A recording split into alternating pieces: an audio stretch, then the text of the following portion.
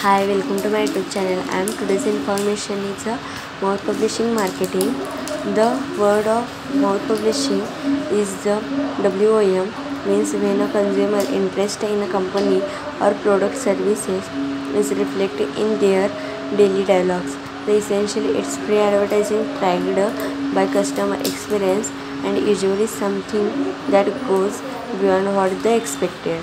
The word of mouth publishing marketing can be encouraged throughout different publicity activity set up by the company or by having opportunity to encourage consumer.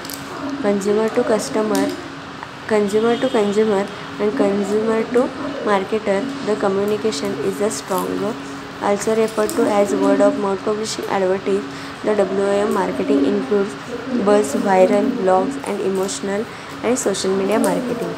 The marketing are the happens when consumer talk about the company product or services to their friends family and other relations and to other with whom they have the close relationship. The mar- marketing is one of the most powerful form of advertising as 88% of consumers trusted their friends recommendation over traditional media. The company can encourage the mouth publishing marketing the marketing the by executing expectation on a product providing good customer services and giving exclusive information to consumer. The word of mouth the word of mouth marketing association the cities the best word of mouth marketing strategies as being honest credible sociable repeatable measurable and respectful. The marketing include vari- varieties.